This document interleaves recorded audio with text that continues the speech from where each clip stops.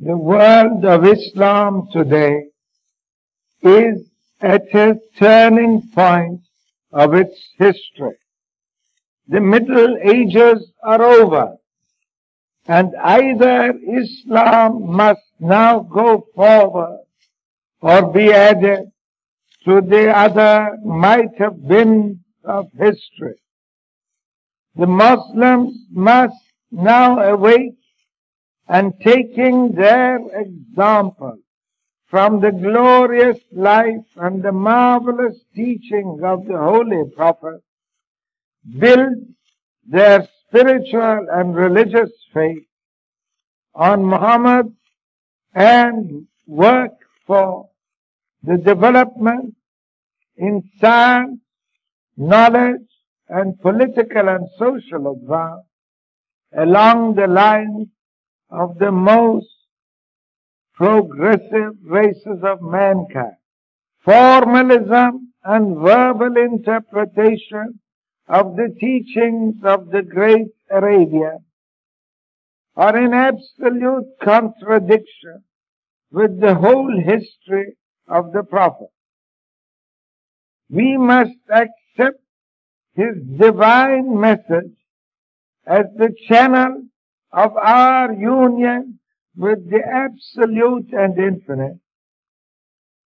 And once our spiritual faith is firmly established, fearlessly go forward by self-sacrifice, by courage and by application to raise the scientific, the economic, the political and social position of the Muslim to a plane of equality with Christian Europe and America.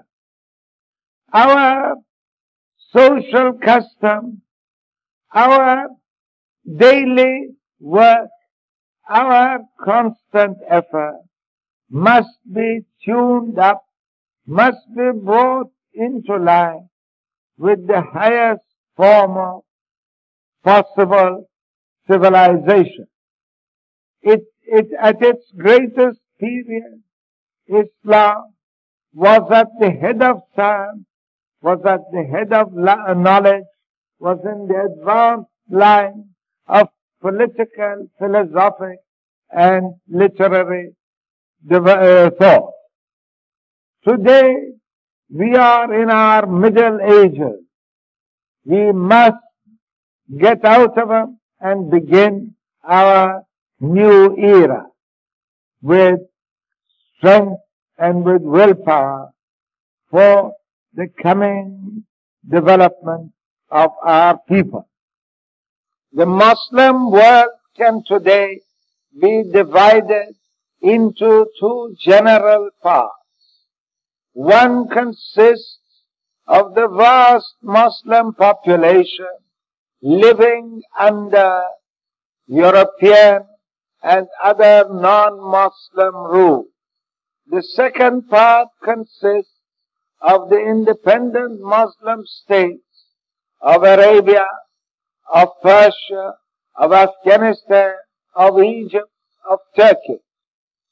Now where we are under foreign rule, we can immediately, by imitating as the Japanese have done, but also by keeping our own spiritual and our highest intellectual character, just as the Japanese have done, we can learn directly from the races that rule us those secrets of social and intellectual power which have made Europe so strong and so progressive.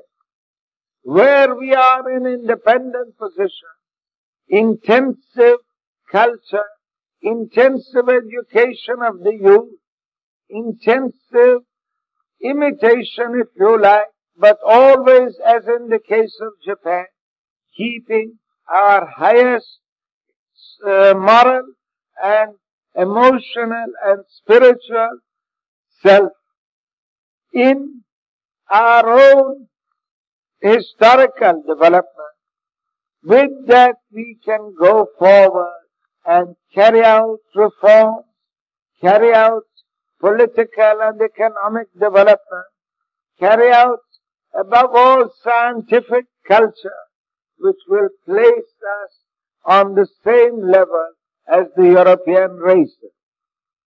In cases like India, we in countries like Java, like Morocco, and like North Africa, we can immediately learn from our European fellow subjects or rulers, if you prefer so to call them, those secrets of power over nature, of, of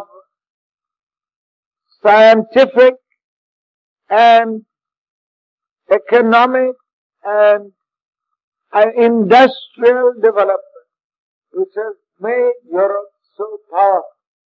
Along these lines, my fellow Muslims, I implore you, I beg of you to work for the advancement of the whole world of Islam, but never forget our intellectual debt to our holy prophet.